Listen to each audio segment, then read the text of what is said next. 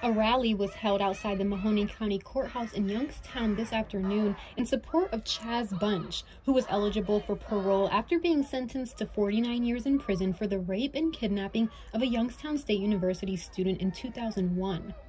Bunch was initially sentenced to 89 years in prison at the age of 16. However, in 2019, Judge Maureen Sweeney ruled the punishment was harsh and unconstitutional and resentenced him to 49 years with the eligibility of parole. The main reason why we're here is because the DNA evidence excludes Chaz Bunch from this crime. He is only guilty of taking a ride from the people who actually committed this crime. Court records do state the semen sample found on the victim did not match Bunch's DNA. Records also state the victim identified three of the men who took part that night, but could not positively identify Bunch from a lineup.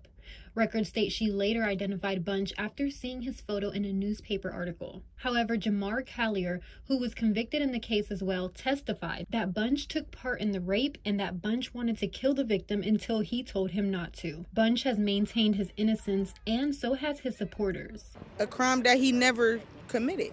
He's been locked up for 20 years and something that I do not believe he did. Not everyone feels he should be released, however. Prosecutor Paul Gains sent out this statement stating that defendant Bunch has not shown any remorse for his crimes. At the rally, Bunch's supporters could be heard chanting, Free Chaz Bunch, time's been served. Everybody's had an opportunity to tell their story except for Chaz. The victims told her story, the judge has told the story, the prosecutor's office has told their story, but no one has spoken with Chaz. In a statement sent out by prosecutor Gains, the victim released this statement saying that Bunch wanted her dead and by the grace of God, Jamar Callier stopped him from pulling the trigger. Bunch was scheduled for a parole hearing on November 22nd of this year, but his daughter said that has been rescheduled to January of next year.